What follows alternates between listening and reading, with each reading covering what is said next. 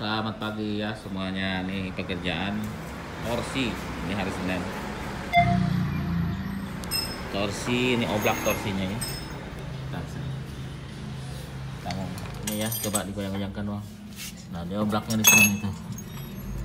Dek dek dek dek. Ya berarti lahar torsinya. Ini tadi sudah buka seperti biasa buka shock letter.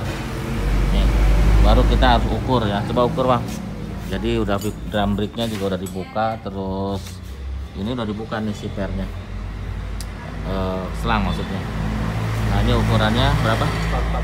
445 445 jadi nanti dikembalin lagi ukurannya ya. Jadi sebelum buka torsi itu selalu begitu ya. Jadi e, pengukuran yang biar nggak diulang-ulang. Kalau nggak diukur nanti salah ulang salah ulang. Nanti pas kita masang setelah ini ini kan mau dibuka semua tuh sama baut dua tadi. Jadi pas masangnya itu ukurannya segitu lagi ya. Harus pas lagi awal lagi. Biar nanti nggak ketinggian nggak kerendahan. Ya mungkin proses ini diulang-ulang ya. Proses penggantian dari tosi cuma nggak apa-apa lah. Biar pada biar lebih mengerti. Dan kita juga sambil belajar sebenarnya. Yang e, kerja paling cepat seperti apa kan karena diulang-ulang kita cari e, pekerjaan yang lebih cepat. Oke ya, kita lanjutkan. Nanti lagi dibuka dulu. Nanti kita lanjut ya, dengan melepas dua baut tadi bautnya mana sih ini? Dibalik ya? Mana bautnya? Nah ini. Ini satu dua baut kan? Ini sini nih. Ini satu bautnya. Nah di sini satu. Ini sudah turun semuanya. Ya tapi nanti kalau masangnya nggak boleh dirakit di bawah. Ya makin rakitnya di atas di mobil. Kalau di bawah nanti nggak bisa diukur ya. Terutama kan nanti masang ininya nih. Yang ukuran itu kan supaya masang ininya bagus lagi nggak masang torsi. Batang torsi ini yang ini batang torsi ya itu tujuannya. Ini yang lebih rusak ini kayaknya nih yang oblak. Ya. Jadi seperti itu. Ini perbandingan sama ini ya. Itu kan modelnya torsi ini kita lihat yang ini. Ini modelnya kayak gini nih tuh. Ya. Ini nggak ada torsinya. Jadi modelnya kayak rigid gitu aja. Belakang eh sorry. Dari kiri ke kanan tuh ada astut ada pernya ada sebleker di depannya ada karet. Nggak tahu karetnya suka rusak apa enggak kan belum pernah. Di sini ada karet nih. Eh, gelap gelap gelap gelap di sini ada karet nih di dalam kotak ini nih. Ada karet ya. Nggak tahu kuat apa enggak karetnya kan belum tahu. Ya jadi mungkin karet kan lebih kuat dibanding lahar kalau lahar kena air rusak gitu ya. Kalau karet kena air nggak apa-apa. Terus kita bandingin dengan yang sorry yang 406 ini 406 modelnya seperti apa lain lagi ya. Dia motif modelnya mortiling mortiling mortiling nih. Ah, kelihatan nggak? Dia kan mortiling tuh. Jadi ini uh, independen yang sesungguh-sungguhnya independen ya. Karena di kiri ke kanan tuh tidak ada hubungannya. Hanya dihubungkan sama stabilizer doang batang ya. Seperti itu sini ada ada motor barusan. Di sini ada sorry ada link stabil. Ada di situ ya cuma kelihatan kita ada videonya kan. Ada kayak terot gitu ya satu. Terus lagi kayak arem nih ya jadi mirip-mirip yang depan cuman dia tidak bisa belok. Sorry bisa belok. Pasif pasif steering ya sebutannya. Kalau dia uh, belok uh, terlalu ekstrim miring dia akan belok jadi kalau kita belokin ke kiri setirnya dengan kecepatan tinggi gitu ya uh, karena dia kedorong juga akan naik ke atas dia akan belok maksimal 5 derajat ya ke kiri juga gitu. Sorry kiri apa kanan? Ya ke kiri juga. Jadi mobil tidak limbung ya. Ini ada ada ada pasif steering seperti itu. Karena kenapa bisa demikian? Karena dia mau tiling ya kalau dia udah makin ke atas dia akan rodanya akan masuk ke dalam ya kayak tuin gitu. Kalau kita tekan aja ke atas dia belok. Ya karena dia modelnya multiling uh, tuling gitu. Jadi tapi kalau rusak ya lumayan banyak juga. Ya, seperti terot long terot sama ada boljin juga di situ ya. Ya jadi plus minus ya. Mungkin yang paling enak suspensi model seperti ini. Lebih kecepatan tingginya lebih enak. Ya lebih napak ya plus minus ya.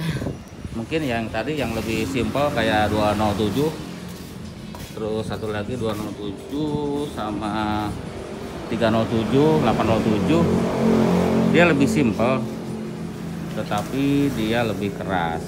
Ya kalau ini lebih empuk. Oh, sorry ini juga keras juga ya. Ini empuk ya. Ini lebih independen sebenarnya. Kiri ke kanan kan dia terpisah satu lengan ayun. Kalau ini kan ada as yang terhubung kiri makanan. Ya gitu ya. Mengenai suspensi. Kalau rasa sih tergantung yang ngerasain aja. Oke itu dulu untuk suspensi ya. Kita lanjut.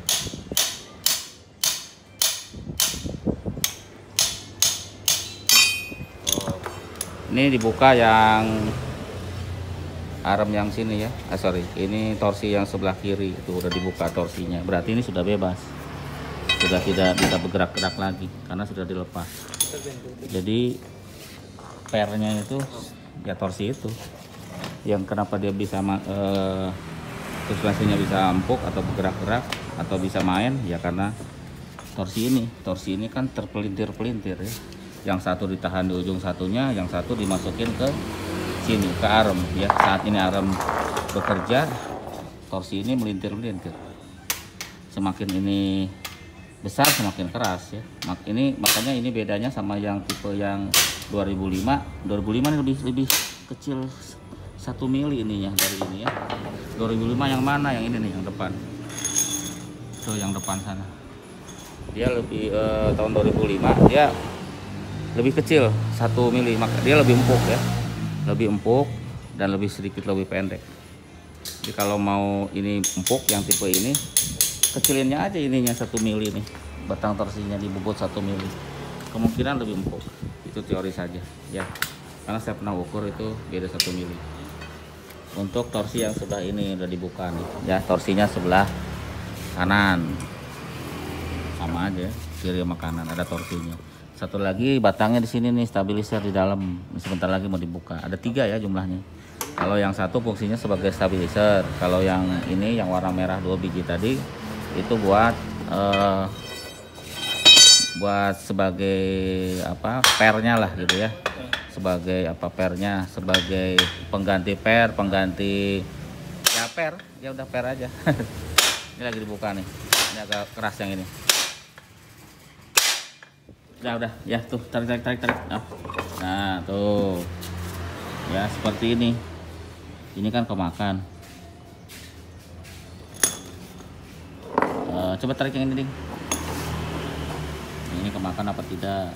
Wah hancur. Hancur ya udah nggak diganti ya ini mangga ya ding? Ini aja nih. Yang bagian luarnya kemakan jadi oblak. Atau yang sebelah sini. Nah kita buka yang sebelah. Kanan. Kanan apa kiri sih? Kanan deh. Kanan kanan. Nah, ini yang kanan nih kita buka. Ya. Wah yuk lagi oke siap mantap Hop. wah ini lebih parah nih. Tuh. Ini lebih kena lagi ya tuh. Jadi ini yang lebih parah. Makanya kalau bisa jangan disering steam ya. Kalau saran saya sih. Ini oblak ya Jong? Ini ganti bang. Jebol nih. Ini jebol nih. Itu enggak ya? Ini satu nih jebol nih. Ini ada empat jumlahnya. Ada empat satu dua tiga empat tuh yang ini jebol nanti kita ganti yang ini satu ini lahar. Kita ganti nah ini jebol ya. Hancur ya. Sama apa bersindar belakangan ya bilang dulu sama orangnya. Suruh SMS tadi. Oke ini ini ini, ini. biar biar nanti ada dokumentasi. Bocor ya? Sudah basah kan sini ya. Ya udah. Nanti aja itu. Belakangan kita mau bubut ini ya. Ini biasanya yang dibubut ininya kita bawa nih as yang panjang itu kita kita bawa ke tukang bubut nanti dibubut. Saya nggak ngikutin ke tukang bubut karena sudah bikin videonya sebelumnya tinggal dibuka aja ya. Mereka caranya biasanya dilas dulu setelah dilas dibubut. Tapi ininya dilepas dulu biasanya dipres nih. Ini bisa dikeluarin ke sana. Dikeluarin ke sana. Nanti ininya doang nih panjangnya sejengkal lebih lah. Nanti ini dilasut dibubut udah gitu doang cuma karena ngelepas lepasinnya berat susah harus press yang besar ya agak mahal ya. Oke itu dulu. Ya nanti saya update lagi.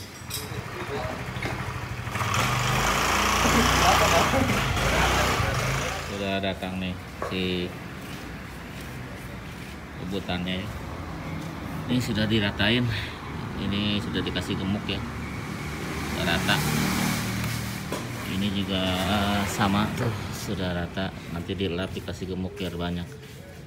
Ini sudah diganti nih oblak tadi yang sini. Terus yang ini masih lumayan bagus. Yang ini yang diganti ya dari ganti. Terus apa lagi? Sudah ya tinggal masang. Ini laharnya seperti ini. Laharnya ini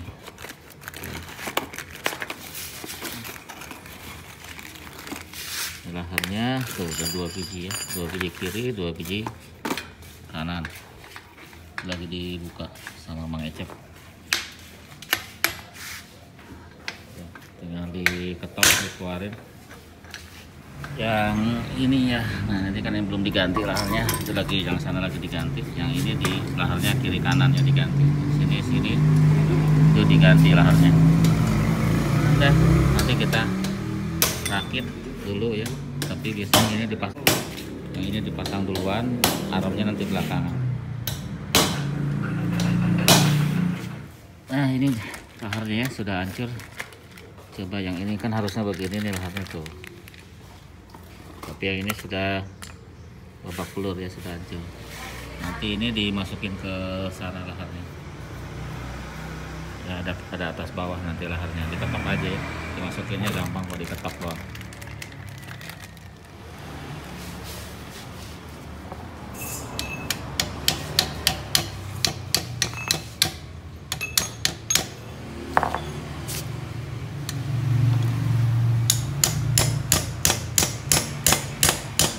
ya ketok aja seperti itu sampai masuk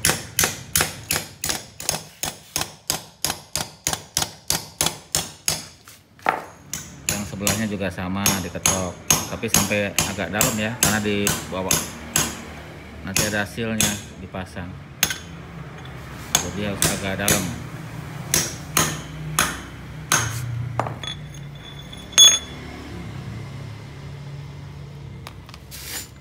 Seperti itu ya sampai dalam terus nanti dikasih seal. Ini yang orisinil sealnya tapi kalau bisa jangan di setim kalau di setim sama aja masuk juga. Kalau cuci cuci biasa aja harusnya karena kalau steam kan kenceng ya airnya bisa masuk bisa ngerusak lahar itu yang di dalam. Ya itu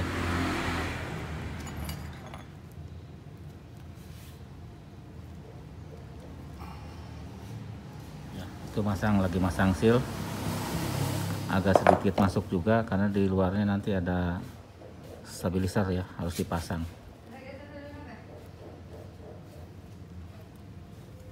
Ini sudah diganti pusingnya ya. Tadi oblak. Pakai karet ya bahan keras ini polyester. Tapi masih tetap empuk ya. Dipasang ya di arm nanti diukur pas masang ini nih lahar torsi ini. Nanti diukur ketinggiannya biar sama lagi seperti yang tadi. Eh, sekarang lagi masang yang kanan dulu.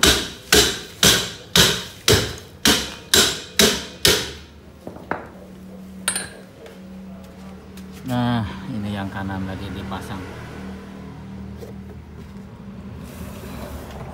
nanti yang kanan selesai baru yang kiri. Tuh pasang. Gemuknya yang banyak ya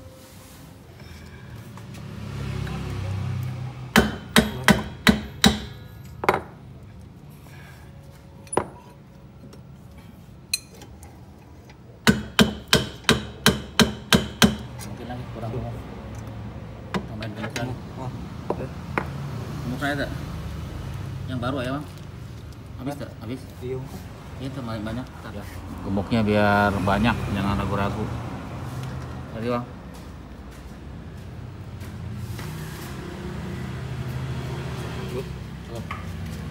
Oke, tinggal masukin lagi. Terus.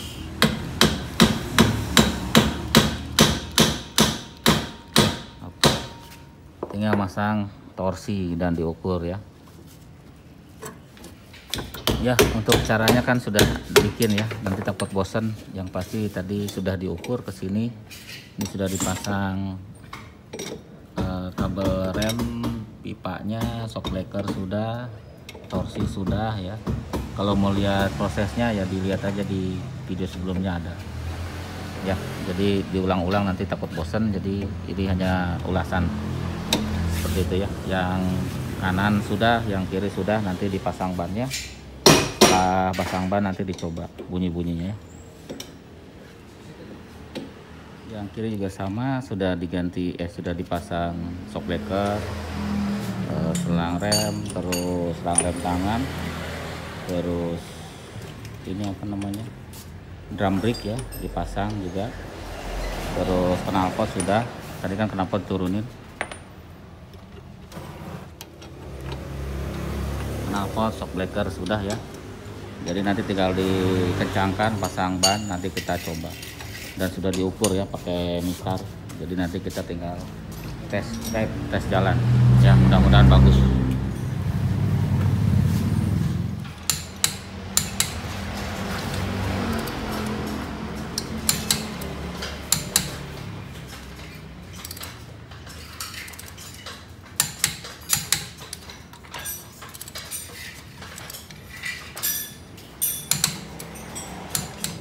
sudah selesai ya tinggal nyoba.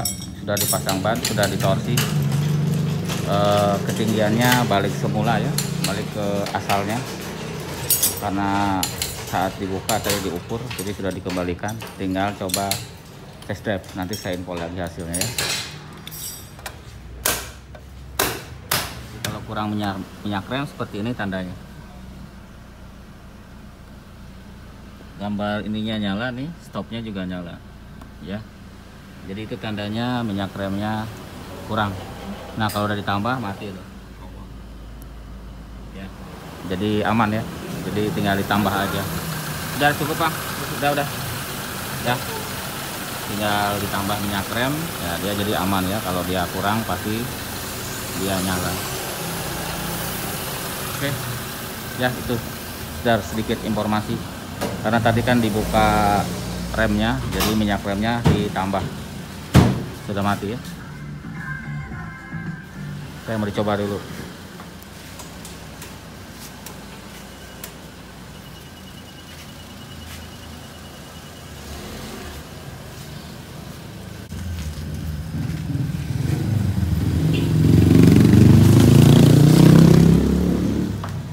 Jadi hasilnya itu bunyi-bunyi belakang itu sudah e, bagus ya sudah hilang mudah-mudahan tidak timbul lagi. Tetapi yang bagian depan masih ada sedikit bunyi ya. Maksudnya ada bunyi di bagian depan. Tapi karena orderannya yang belakang ya kita belakang dulu. Mungkin yang depan nanti kita cek e, yang rusaknya aja tapi tidak diperbaiki. Hanya diperiksa saja ya. Mungkin itu dulu ya untuk perbaikan mobil 206 itu. Uh, suspensi belakang, torsi belakang. Semoga ada manfaatnya ya. Sampai jumpa lagi di video berikutnya.